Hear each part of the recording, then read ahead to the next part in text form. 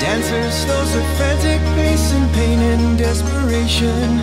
Her aching limbs and downcast face aglow with perspiration. Stiff as wire, her lungs on fire with just the briefest pause.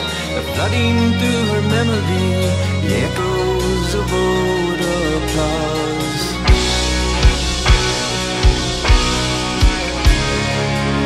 And she limps across the floor. And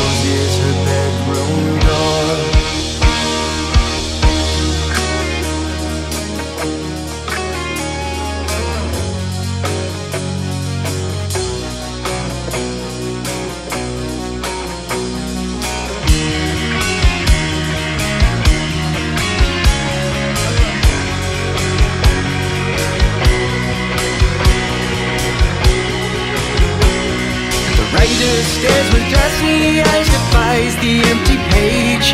His beard is white, his face is lined and streaked with tears of rage.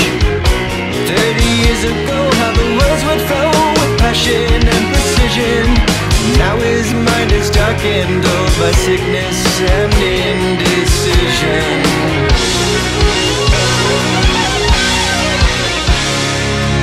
And he stares out the kitchen Where the sun will rise no more